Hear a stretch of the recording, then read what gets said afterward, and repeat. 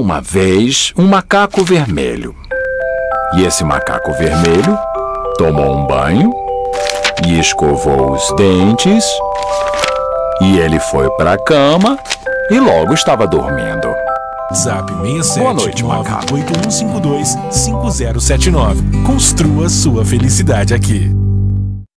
TVC agora. De segunda a sexta, 11 da manhã, as notícias mais importantes da nossa cidade, de maneira simples e direta. E acompanhando pelas redes sociais, você ainda concorre a prêmios incríveis no quadro Show de Prêmios TVC. Apoio Oral Sim, sua referência em implantes dentários. Verde Flora e Garden Flora, floricultura e paisagismo.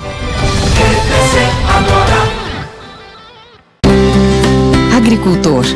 Aqui tem apoio para o seu agronegócio com o Plano Safra.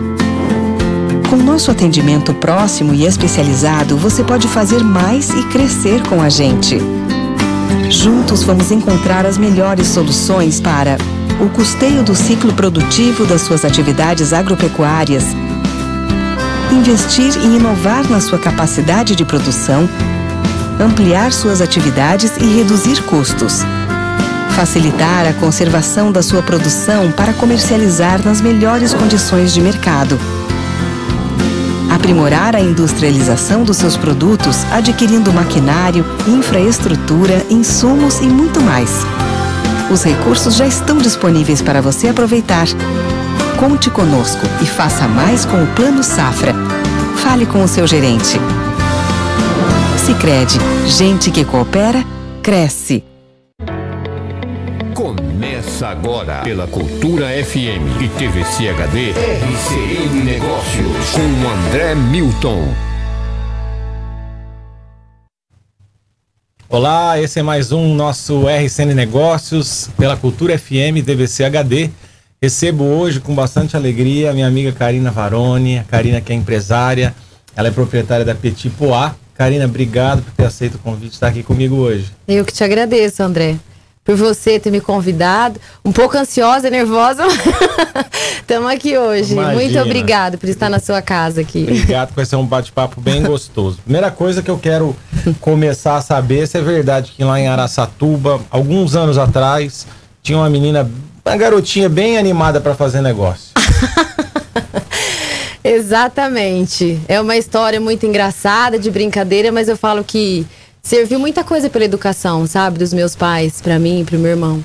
É, há nove anos de idade, a gente morava em Araçatuba. Meu pai é pecuarista, de família pecuarista. Tínhamos um sítio em Araçatuba.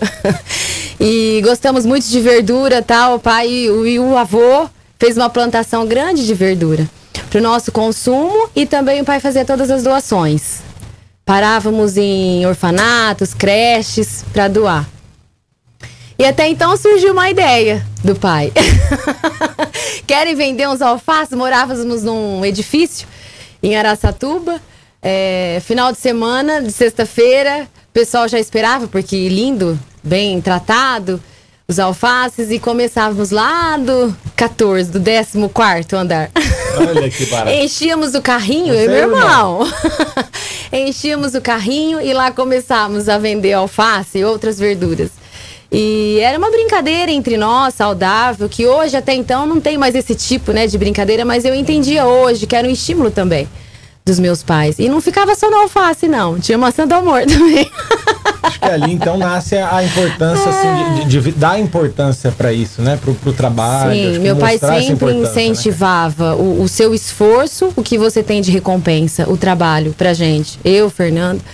Até minha mãe montava bancadinhas assim na porta do apartamento e ali brincávamos de vender maçã do amor e isso congestionava as crianças ali e foi muito legal, muito gostoso, uma experiência que eu falo, meu pai ele sempre foi meu incentivador pra trabalhar e a mulher ser independente. Joia. E aí, assim, você se formou em direito e essa sementinha, junto com uma paixão pela cozinha e a mania da, da família se reunir em volta aí da gastronomia, foi que te motivou pro primeiro negócio. Sim. Conta como é que foi. Vim para Três Lagoas aos 12 anos, me formei, casei, é, tive meus filhos, fiquei 10 anos né, sem trabalhar, curtindo essa fase de mãe.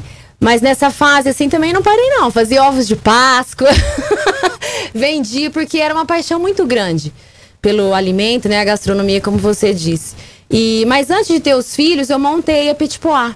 Com uma sócia, minha cunhada, Simone. Petit Pois não, ó. Pois não, desculpa. Cassis Torteria. A Cassis Torteria. Cassis Torteria. Montamos há 19 anos atrás essa empresa. Era uma empresa, assim, excelente, voltada ao ramo alimentício. Fizemos cursos em São Paulo com grandes astronomias, mas na verdade o que a gente sentiu, André, é que na verdade eu falo assim, montamos a torteria Cassis no momento errado em Três Lagoas.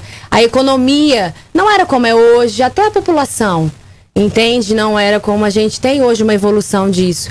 Então sentimos, porque eram assim produtos mais diferenciados e tudo que envolve produtos mais diferenciados, o preço é um pouco maior. As pessoas nem sabiam o que vendia, era tor é, cassis torteria, então tinha até essa dificuldade de saber o que vendia. A mão de obra era precária aqui em Três Lagoas em termos de fazer esses alimentos diferenciados. E com isso tivemos essa dificuldade. O primeiro negócio a gente acaba indo mais no feeling, né? Sem, sem entender demais, Sim. assim. Até a gente é, saber qual é o público que vai consumir o nosso produto. Né? Isso é um Exatamente. pouquinho mais difícil. Por aquele sonho, aquele desejo, a gente encara sem ter o pé no chão da realidade, né? Que Três Lagoas estava passando, né? Não tinha esse crescimento. E por isso, assim, não ficamos, ficamos, eu acho, com uns três, qua- três anos. E também é, filhos, fomos obrigados também a, por motivos familiares, eu tive que parar pelo Leonardo, nasceu prematuro. Então resolvemos, estava sendo muito difícil continuar com a Cassis Torteria. Mas aí a maternidade deu uma pausa aí no seu primeiro negócio, mas ela também fez surgir em você um sonho de montar uma loja ou trabalhar pelo menos com moda infantil. Eu quero Exatamente. saber da gestação agora da Petit Pois. Exatamente. Tive esse contato, entrei nesse mundo das mães, filhos, e amava ver meus filhos lindos, estilosos, bem vestidos. Não tem uma mãe que não se encanta. E eu senti também essa dificuldade em Três Lagoas, de ter uma loja com essa variedade, uma loja que acompanha um que tá na moda atual, entendeu? Tinha uma dificuldade muito grande, eram roupas assim mais simples e eu tinha que sair de Três Lagoas para comprar né? Então surgiu assim essa vontade da Petit Pois entrar nesse meio eh, com os filhos, mães, esse desejo porque eu sempre fui uma pessoa a produzir, não consigo ficar parada, entende? Ou o alface, Dá pra reparar, né? Já deu pra reparar. Ó, o alface. Uma ação do amor, cozinha. Exatamente. E deu certo, sabe? De montar essa, essa loja já existia há oito meses. Falo que foi presente de Deus, porque tudo que eu tenho é presente de Deus na minha vida.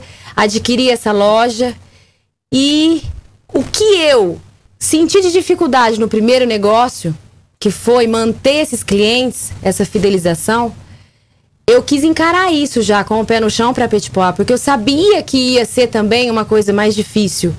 Por ter produtos diferenciados, entende? E em Três Lagoas, até essa readaptação das Você pessoas. encarou esse desafio de novo, né? Porque o teu primeiro negócio foi esse, mas você já estava já mais preparada para isso. Exatamente. Eu sabia que eu tinha que trabalhar em cima disso. Dessa fidelização. E a gente vai falar dela também. Eu vou, eu notei algumas questões aqui. Como é que surgiu a questão da moda infantil, né? E vi que até 1950 mais ou menos as crianças se vestiam praticamente como os pais, eram pequenos adultos, né? Aí a Segunda Guerra trouxe uma diminuição do número de filhos. Pra você ter ideia, em 1940 existia um, um- o dado era que eram mais ou menos seis filhos por casal, um pouco mais. Em 2013 esse número já está abaixo de dois. As crianças passaram então a ter mais importância na vida dos pais, no sentido de um cuidado mais individualizado, uma atenção Exatamente. maior. Lógico que o poder de renda também foi aumentando. E aí esse mercado surgiu nesse contexto. Até aí só cresceu, né? Segundo a Associação Brasileira da Indústria Têxtil, é um mercado que cresce 6% ao ano, né? Alguns defendem que no seu setor seria interessante focar em uma das etapas, ou da infância, adolescência e juventude, né? Mas você decidiu é, trabalhar com o ciclo todo, né? Como é que Sim. o pecuarista fala de mamana caducando, né? Por que isso? Exatamente. É o que eu te falo. Eu quis ter essa fidelização, mas nós vamos falar mais à frente. Mas esse nicho de ter o zero até o tamanho 16, quando eu falo tamanho, tamanho 20, eu visto criança até o 16. Eu queria trazer para Três Lagoas o que faltava? Entendeu? Para Três Lagoas, eu quis abraçar para ser uma loja diferente. Essa mãe, pegar ela desde o início, desde a gestação, porque eu trabalho também com o enxoval completo e manter essa mãe, caminhar junto, fazer com que a Petipoá toque o coração e acompanhando o crescimento. Eu tenho aquela, aquela cliente, se você for ver, 16 anos dentro da minha loja. Você Quase entende? uma extensão da casa dela. É. né? E para isso, André, não é fácil. Hoje as lojas apostam em nichos. Entendeu? Focar em nichos. Então, por isso que para mim, manter a Petit Pois com toda essa gama de nicho do 0 a 16 anos não é fácil. Mas graças a Deus nós estamos E é um mercado Caminhando. que você for ver, as crianças, elas, elas, é, elas têm uma, uma exigência de troca constante, né? Por conta do, do próprio crescimento, crescimento. né? Então, você pega, acaba pegando um nicho interessante, né? exatamente. Até por conta disso. Mas vamos falar da, da- da tal da fidelização, né? Que eu anotei aqui que fidelização é, é diferente de satisfação. Um cliente satisfeito Exatamente. não é a mesma coisa com um cliente fiel. Não. O satisfeito ele pode ir lá, comprar uma vez só, ficar satisfeito com o teu produto e não voltar mais. O fiel ele vai estabelecer aquela relação periódica, ajudar até na divulgação, na defesa da marca, da loja, né? Exatamente. Ele cria um advogado, ele se torna um advogado. viu? o cliente Coisa fiel. E a satisfação é a primeira etapa, a fidelização é o grande desafio, é a segunda, né?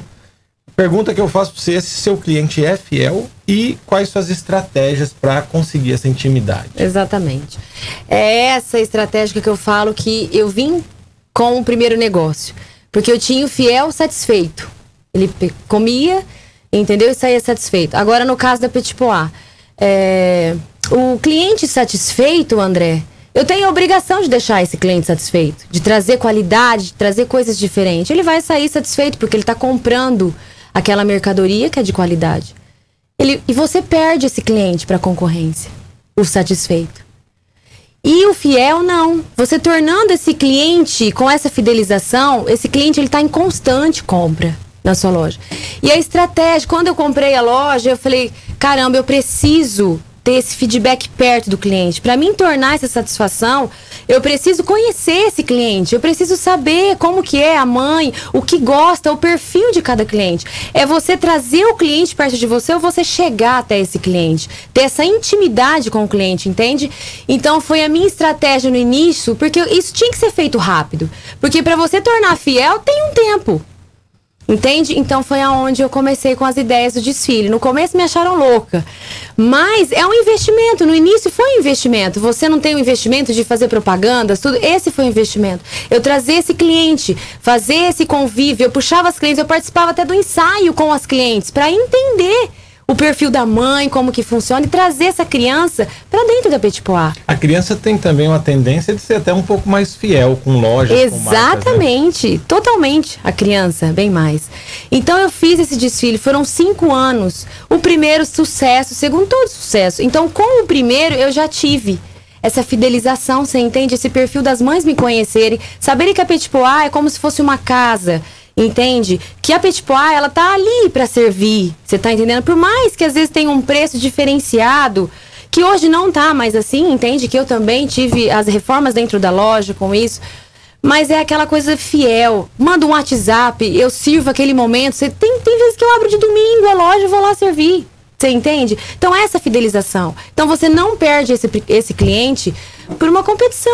Às vezes chega uma peça, com certeza você deve até conhecer o gosto das Quando eu da criança. faço a coleção, quando eu faço a coleção, eu já sei o gosto, as peças pra quem. E de lá da coleção eu já mando foto. Chegando, chega as caixas, a gente já publica e manda no WhatsApp, entendeu? Ter esse feedback direto com o cliente.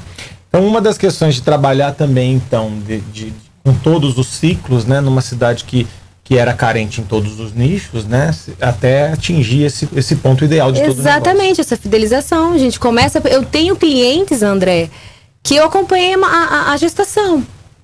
Entende? E tô hoje com se criança tá com 4, 5 anos, tá na Petit Pois. Entendeu? Então tem toda essa fidelização pelo nicho também que eu trouxe. De ter as opções. Muitas pessoas entram na minha loja e falam: Meu Deus, você tem todas as opções. Hoje é difícil você manter uma loja com vários nichos. E realmente é. É, porque E, e, assim, a moda infantil, eu imagino que como cada vez mais ela, ela tem se aproximado da moda adulta, né? De Exatamente. ter troca de coleções, Sim. de ter temporadas, etc. E Acompanha tal, né? a moda adulta, André. Hoje a gente está nas mídias, a, a, a, coleção infantil, ela realmente ela acompanha a coleção do adulto. E a mãe, ela quer isso, ter o filho na moda.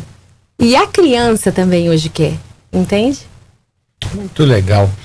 Bom, os gastos dos pais com os filhos no primeiro, de, no primeiro ano de vida, né? Eu vi que é, são dos que mais hoje tem movimentado esse mercado infantil, né? As vendas para os recém-nascidos também são bastante importantes e relevantes para o seu negócio.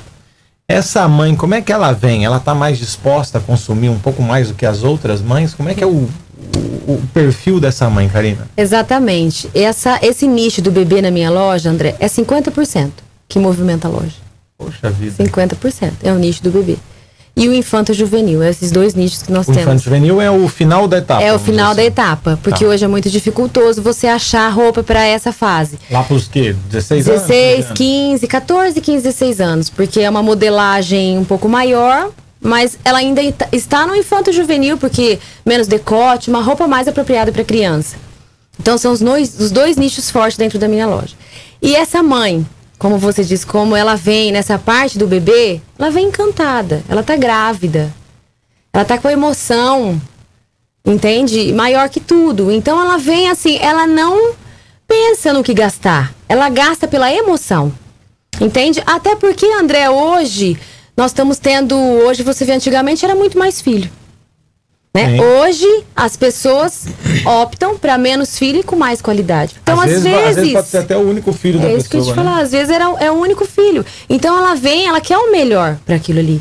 Entende? Então é maravilhoso você vender nesse mundo. É uma magia ali naquele. Ela tá encantada, você começa a ver o enxoval. Ela olha a roupinha pensando na criança. Entende? Não no que vai gastar. Então elas consomem, esse nicho consome muito mais, é 50% da loja. Interessante.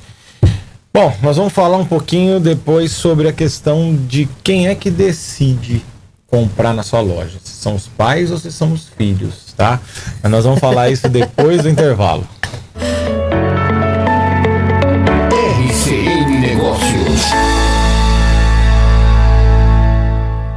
Beleza e bem-estar caminham juntos. Plast Clínica Três Lagoas clínica de cirurgia plástica reparadora e estética. O lugar ideal para fazer sua plástica com ampla estrutura, atendimento personalizado e centro cirúrgico próprio. Equipe multidisciplinar em ambiente seguro e confortável. Agende sua avaliação.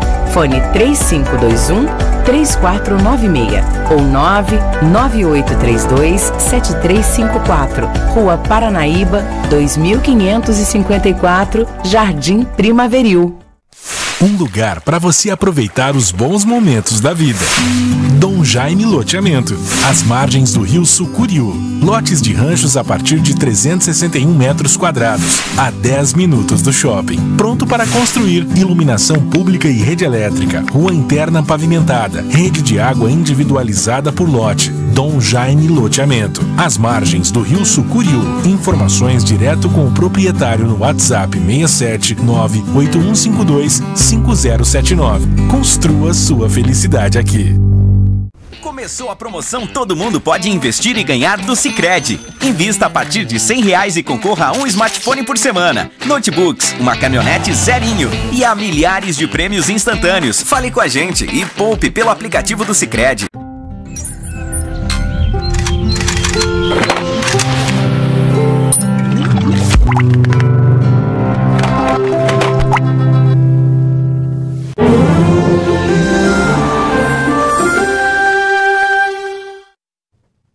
Estamos de volta com o nosso RCN Negócios, recebendo Karina Varone, empresária e proprietária da Petit Poá. Karina, eu tinha dito para todo mundo aqui que nós vamos falar sobre agora o poder de consumo. Quem é que tem esse poder de escolha, né? Sim. De compra, né? O censo americano, ele aponta que as consumidoras, as mulheres, decidem por 80% das escolhas de consumo. Desde a cueca do marido até a própria casa. São elas que definem, tá? Ou pelo menos tem uma forte influência. As crianças brasileiras, segundo o IBGE, influenciam 80% das decisões de compra de uma família. Para onde vai, que restaurante que vai, qual passeio vai ter, qual é a música que vai ser ouvida no Sim. carro, que filme vai assistir, etc e tal. Então a briga é boa, tá? A pergunta que eu quero te fazer é: até que idade quem escolhe o que vai ser comprado na tua loja ou nesse setor é a mãe? E quando é que as crianças começam a ter poder de decisão? Bom, do zero, que eu tenho que te falar, que são os nichos que eu tenho na loja. Do zero aos três anos de idade, elas estão na fase de observação. Esse é o papel da mãe nessa fase de compra. Dos três aos cinco anos, eu falo que é aquela fase eu quero. Eu quero isso, eu quero aquilo. Quem quer? A mãe? A criança. Criança, a criança já quer. Eu quero, já chega na loja, eu quero já isso. três, eu quero- já? De 3 a 5 anos, o eu quero. Mas a mãe consegue ter um controle. Tipo, mostrar outra roupinha aqui, não, que eu é, que isso aqui é melhor, consegue ainda mudar o pensamento da criança. Mas de 6 anos em diante, tem algumas crianças que começam com 5 que eu vejo, mas em 6 em diante já são consumidores infantil. Já é a criança. Já é a criança. A criança ela define na hora da venda ali da mãe. A criança chega, ela já vê o seu look, ela já escolhe. Ela já quer experimentar. Às vezes a mãe acha que não ficou legal. Tenta, não tem como. E a mãe já fala: se eu levar, não veste. Então ela já tem esse poder de escolha. Isso você sente que foi mudando desde que você mexe nesse negócio até hoje, Karina? Sim. Foi mudando. Mudou. Mudou e, e mudou assim radical. Assim, a gente pode falar até no nosso tempo. Os pais, minhas mães, minha mãe chegava com o look, com a roupa, eu vestia gostando ou não. Hoje, tipo assim, na fase do Leonardo, eu não lembro da Maria Fernanda dos meus filhos. Essa fase de criança, eu ia à loja sozinha comprar as roupas e levavam. Até porque você vai me confessar uma coisa, eu vi um dado também que 60% das mães, quando elas estão comprando roupa para os seus filhos até determinada idade, que você está me falando provavelmente que até aí os 5 anos e tal, na verdade a satisfação é dela, mãe. Ela não está querendo ver o filho dela mais feliz até os 3 anos, é o que ela se sente bem, é, É, mais o ou que menos ela se isso, né? sente bem. É, é exatamente. É o que ela. A, a- a olhar o filho e ver aquele, aquela criança na moda, o que tá usando. É uma satisfação para Às vezes, André, deixa de comprar até mesmo para ela. Entende? Para ver o seu filho Mais bem vestido que a mais própria bem mãe. vestido que a própria mãe. E a estratégia de comunicação, então, com certeza é bem diferente de acordo com os nichos, né? Porque você vai vender para criança em determinada idade e André- até determinada idade você tem que falar com a mãe, né? Exatamente. E essas crianças que já têm essa opção, já têm esse poder sobre, eu falo a persuasão sobre a compra dos pais. É, a própria empresa já hoje de produção dos tecidos que vão confeccionar, as roupas já são direcionadas a esse cliente final, que são as crianças. Entende? A gente tem isso por N fatores já. A internet, que está sobre o poder das crianças, esse mundo que nós estamos. A gente tem também ah, essa ingressão dos nossos filhos hoje, os pais, é diferente da nossa criação. Sim. E hoje o que a gente faz com os nossos filhos? A gente inclui os nossos filhos hoje em todas as decisões. Então eu vejo muito lá na loja, as mães chegam e incluem a criança. Você gosta? Você entende? E a criança gosta ou não gosta. Já tem é, é, formada já na criança, entende? A formação da criança já é. a- A gente vai deixando isso acontecer e eu acho legal, bacana. Sim. Entendeu? Pro desenvolvimento. Hoje tá tudo isso, não só nas roupas, né? Eu só gostaria de voltar a escolher filme para eu assistir, porque eu não tenho mais poder nenhum isso em casa, mas tudo Mas bem. em casa também. É em tudo. É viagem, é Tem que alimentação. assistir filme escondido, quando tá todo mundo dormindo para eu poder escolher. É, alguns outros dados, eu gosto de, de estatísticas aqui, né? Homens, sabia disso, Beto? Homens aguentam ficar sem cair no tédio 26 minutos dentro de um shopping. Mulheres, duas horas. Amamos. Mulheres consomem, em média, segundo a indústria de calçado, oito pares de sapato por ano. Homens, dois pares, em média, por ano. Tá? As mulheres atualizam com mais frequência seus armários com os homens. E aí eu sempre amolo amigos, né? Que constroem suas casas ou acabam se casando, né? Qual é o espaço reservado a eles no closet, né? Então eu tenho dados interessantes. Meu amigo Paulo Salomão, que deve estar me ouvindo aqui. Paulo Salomão tá com 30% do armário, de 30 a 35. O Beto me falou aqui que ele tá de 15 a 20% do closet dele. E o Alexandre Godinho, meu amigo, marido da, da, da Karina, né? Fiz uma ligação para ele hoje cedo. O Alexandre tá entre 20% e 30%, mas a parte dele você tem invadido, tá? Que eu quero saber é o seguinte: meu se Deus. com as crianças também é assim, as meninas também estão bem à frente no consumo dos meninos. Eu adoro isso. Continuamos assim. Por mais que as mães de meninos, entende? Eu acho um show isso. Elas estão super antenadas na moda.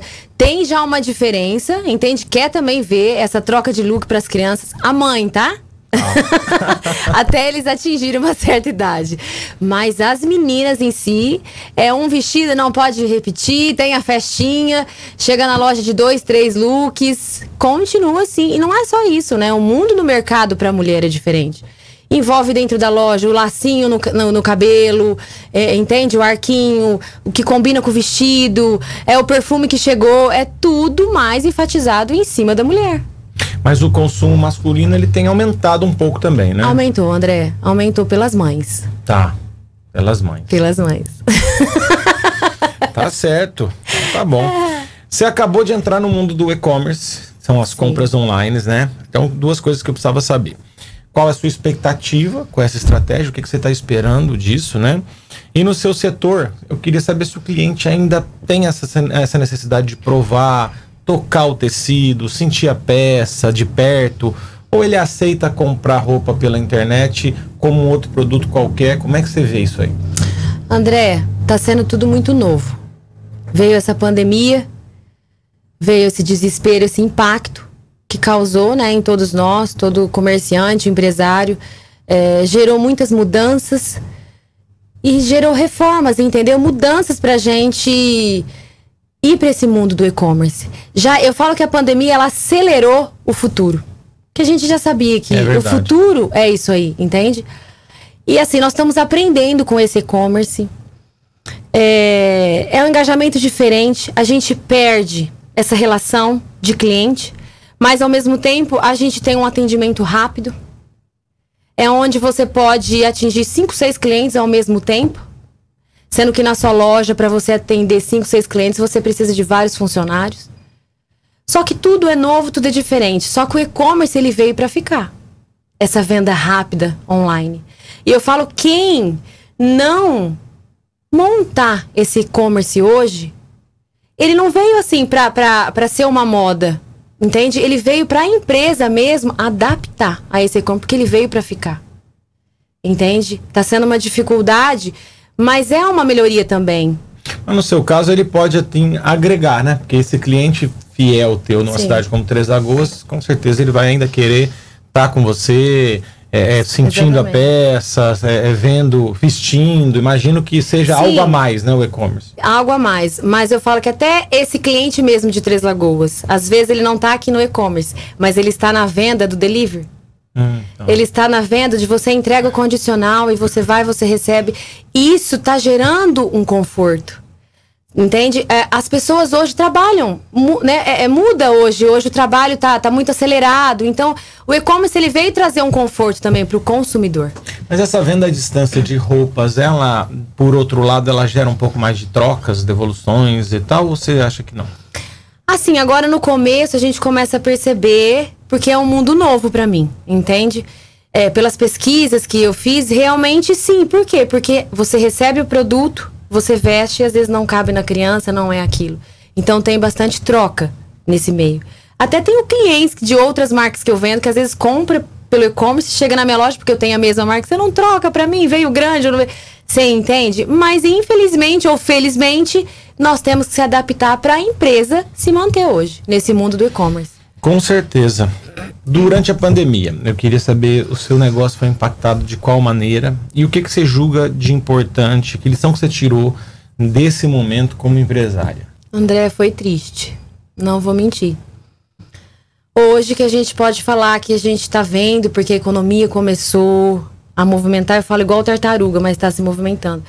Mas no começo eu chorei muito. Você imagina você ter um comércio, eu ali, 23 marcas trabalhando, boleto caindo, entende? Veio aquele desespero. Não tem como. Eu falei, meu Deus, e agora? Como eu vou pagar? Como eu vou honrar? com esses compromissos, veio desespero, veio tristeza, veio pânico. Pensei que eu não ia mais voltar com a loja, medo. Mas aos poucos passa aquele primeiro momento de desespero, a gente tem uma esperança, é o momento de exercitar a fé e acreditar. Entende? Você repensa em muita coisa. Isso, é o momento de se reinventar. Nós temos que caminhar. Como é que vai ser? As pessoas vão comprar, as pessoas têm que, que vestir, entendeu? Então vamos se reinventar esse momento. Essa reinvenção é o que eu falo. Surgiu as ideias do delivery, você entregar, de você estar tá mais perto desse cliente, as promoções. Entende? Eu fiquei um tempão. Você ter o seu produto que acabou de chegar e você queimar o seu produto. Entende? Para você ver aquele dinheiro, para você conseguir girar honrar, o negócio. Girar o negócio. Então, mas tipo assim, é o que eu falo. É, hoje a gente se reinventou, estamos ali caminhando devagar, mas nós estamos caminhando. As pessoas já estão perdendo o medo e já estão comprando. É que eu falo, esses clientes fiéis já estão retornando. E nós estamos caminhando devagarosamente, mas nós estamos indo vagarosamente. Com, cer com certeza você tem ali dois perfis de consumidor: aqueles que compram para o uso próprio e aqueles que compram para presentes, para eventos especiais. A pandemia, imagino que ela, ela deu uma pausa nessas questões, no, sei lá, no chá de bebê, nos aniversários, é isso mesmo? Exatamente, André. Foi o que toda loja ela é movida não somente para consumo, mas para esses presentes. Chá de bebê, não estamos tendo mais. E quando tem, é um ou outro que vai visitar. Aniversários infantis, onde a mãe ela compra o look e sai os presentes, entende? Da loja. Não estamos tendo, não estamos tendo convívio para ter é, é, essa venda. Então prejudicou demais. Foi o que. A questão agora como, como aprendizado, vamos dizer assim, nesse momento, dando uma dica para o empresário novo, para quem está começando, você acha que um dos pontos é, principais seria, por exemplo, ter uma reserva sempre para o seu negócio. Isso ajudou muito? Exatamente. O que me fez atravessar a pandemia foi a minha reserva. Aonde eu usei a minha reserva. Entende? Então, para quem está iniciando, tem que começar com o pé no chão. Não sair comprando a torta direito, porque nós não estamos nesse momento. Tem que repensar, comprar com cautela, entende? E, e, sempre tem que ter, André, uma reserva. Não tem como você comprar e você ficar esperando o retorno daquilo. Você entende? Toda empresa precisa de uma reserva separada. Você não sabe o dia de amanhã.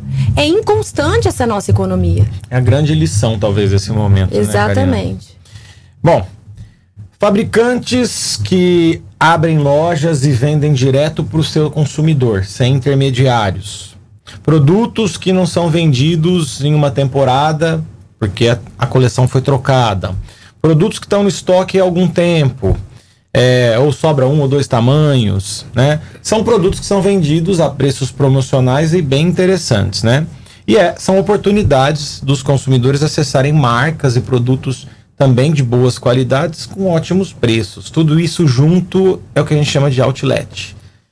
E esse modelo virou sucesso no mundo e vem proliferando no Brasil. Segundo a Abrace, que é a Associação de Shopping Centers, 20% dos shoppings no Brasil já são outlets.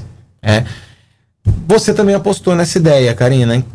Qual que é a sua. Que ponto isso é estratégico para o seu negócio? Apostei, André, nessa ideia. Por quê? Porque eu, uh, eu precisava tirar esse conceito.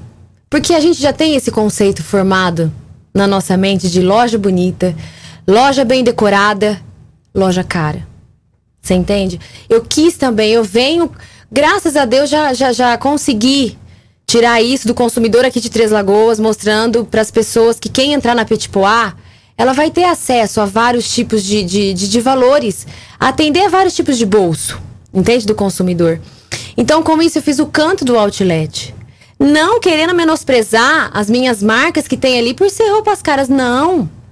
Mas eu queria ter acesso a vários tipos de pessoas, porque o que você faz girar na sua loja não é tipo de A, B, de classe de pessoas, são todas as classes. Sim. Entrando e consumindo na sua loja. Entende? Então eu montei esse outlet, que foi uma estratégia minha. Para ter essas pessoas entrando através do outlet, mas conhecendo o meu produto também que eu tenho. E vendo que é acessível. Entende? Tirando essa posição de que a loja é bonita, é uma loja bem decorada, é uma loja cara. Entendeu? É aquele medo de entrar. Medo de entrar E na é loja. hoje ela acessar o teu produto. Entendeu? Então eu trabalhei muito isso em cima do outlet em marca, porque são os produtos de qualidade que eu tenho na loja, mudança de. de- mudança de. que eu falo de, de, de coleção, eu coloco no outlet, porque ali é o meu estoque que vai trazer o meu giro. Entende? E virou uma febre no país mesmo esse modelo, né? Não no país, o mundo todo tem Não são pessoas, não são, é, é, não são peças com def- defeitos, não. São peças de qualidade, mas com custo menor. Então, para presente, você entende? Eu não perder aquelas pessoas que querem presentear um presente com custo menor. Eu não quero ah, vestir petit pois, eu comprando, mas eu quero dar um presentinho. Tem um outlet, peças de 50 a 60 reais, entende? E, e de qualidade. Então o outlet ele foi realmente uma estratégia que eu ganhei muitos clientes com o outlet na loja. Bom, então, ótimo. Karina, se um comerciante que vem de fora com a família para tentar a vida te encontrasse e pedisse uma, uma opinião sobre Três Lagoas e perguntasse o que é mais difícil aqui, acostumar com o calor ou com os impostos? O que que você responderia para essa família? Nossa, tá dura essa resposta. Estão empatando demais pro calor. Tá imenso aqui. e os impostos Se explodindo. você falar que são os impostos é mais difícil que o calor, então é muito difícil, viu, Beto? Exatamente. Essa é a chave que, que eu falo que nos entristece, sabe? É, ali, no meu caso, né, como eu sou uma empresa simples, é, eu pago 16% de impostos. O ICMS, tudo que de tudo. É, o ICMS, O meu, ICMS, a então. equalização é, é em cima de 10% de entrada. Ah. E eu falo assim, essa entrada, André, o que que te dá desânimo? Porque a mercadoria, ela tá chegando, você não tem... Você não, não tem nem o tempo de vender essa mercadoria e você já tá pagando os 10% da mercadoria. Vendida ou não, os 10% já tá pago, entende? Só pelo fato de você estar no Mato Grosso do Sul. Só pelo fato. E eu tava olhando também é, é, outros estados. Mato Grosso do Sul, ele tá encaixado ali nos maiores, Sim. entende? De imposto. E de saída eu pago 6%, no total de 16%. E também tem o e-commerce agora, que é um mundo novo pra gente. É 10% de venda do estado de São Paulo que eu fizer em cima do e-commerce, que é o de FAO hoje que nós temos, é 10%. E vamos lembrar que a gente está falando só em um tributo, que é o ICMS, né? Sim, da fora da toda. folha de pagamento, fora É. para você manter uma empresa. Então, hoje fala assim, empresa, o sonho. Ok, é sonho. Mas não é em si eu. Achava também que era que delícia fazer a coleção, esse mundo entrar e vender. E a realidade, no começo, desesperei.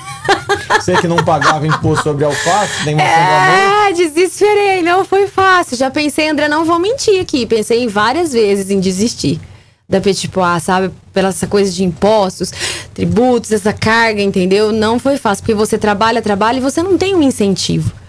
Sabe assim, Pra você promover mais emprego, não consegue. E o consumidor entende? muitas vezes ele não enxerga, né? Quando ele, em alguns casos, vê produtos mais caros na cidade de Três Lagoas, de que realmente a- esse impacto que o Exatamente. comerciante tem que repassar. E tem um ponto até pra mim na loja que eu falo que é meio difícil, porque eu trabalho com algumas marcas, André, que são marcas que já têm o preço, que já vem o preço pré-estabelecido. Você pode ou não continuar com aquele preço. E o que, que eu faço? Eu mantenho o preço. Entende? Eu mantenho pra eu não perder esse cliente que vai sair daqui de Três Lagoas, ele pode chegar a Andradina Então você tem margem bastante apertada. em Sim, entendeu? E comprar a mesma peça da mesma marca. Porque em Andradina, ela mantém o preço aqui, os encargos são a mais pra gente e seria um preço maior. Então eu mantenho esse preço. Trabalho justo. Isso é um grande problema, um desafio Exatamente. de longo tempo para nós. Quem sabe um dia, né? Eu queria agora finalizar perguntando as suas perspectivas, o que, que você espera desse futuro do mercado, da nossa cidade, o que, que você está esperando, Karina? André, eu sou uma pessoa com uma esperança sempre aguçada aí. E uma fé muito grande. Eu acho assim, nós temos que torcer para que venham indústrias, né? Essa é o FN3 que nós estamos aí nesse jogo torcendo, né? E para que as pessoas venham produzir para Três Lagoas, entende? Para esse crescimento, Três Lagoas tem tudo para crescer.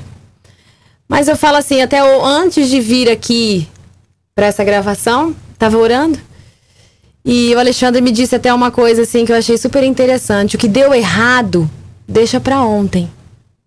Traz a esperança para hoje. Eu achei isso assim, sabe? Vamos recomeçar a todo instante. É, é, a certeza de que todo mundo que tem um comércio, entende? Ele, ele pode se reinventar, não desistir. Porque eu tenho certeza que isso é um momento, veio para ficar, mas se a gente se reajustar, a gente vai vencer.